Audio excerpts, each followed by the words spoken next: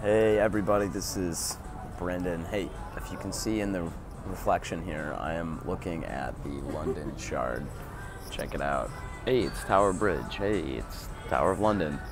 Uh, I'm out here doing some training for work at the London office of the company that I work at. Here's what I wanted to talk about today, real quick, on selling like a comedian. You just got to get into it. Uh, I was writing an article on Quora talking about what advice would you give to somebody who's just starting out doing cold calling.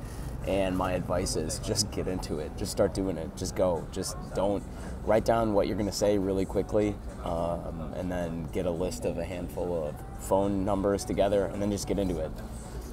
Do enough research to know maybe what you would talk about for a second. Spend five minutes, and then get into it. Don't delay anymore. Don't slow down. Don't don't cheat yourself get right into it. That's exactly what you want to do. And the reason you want to do it is because you don't you want to you will learn so much more from getting on the phone and actually doing it than you will by thinking about it or going through theory. But here's the thing like when people try to get ready for doing stand-up comedy they do the same things a lot.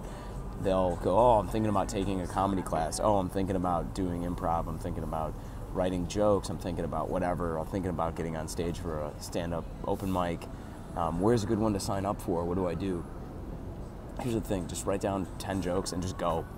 Don't refine them. Oh, how do I refine material? You want to talk about it? I don't want to talk about it. I mean, I'll work with anybody. If you want to comment below, I'll we'll figure out a way to help you work on some material. But here's the thing just go.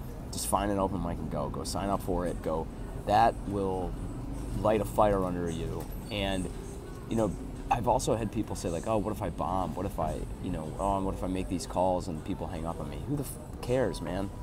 It doesn't matter. You you survive. You're stronger than that. So just go ahead and do it. Get into it as much as possible,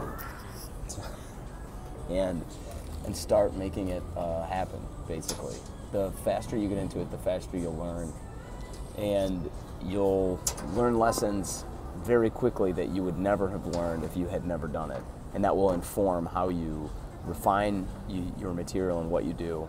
And you'll get back on on the phone, you go back on stage, and uh, and you'll do better the next time, and you'll do it in a much shorter amount of time than if you had never done it in the first place. So my advice is just get into it.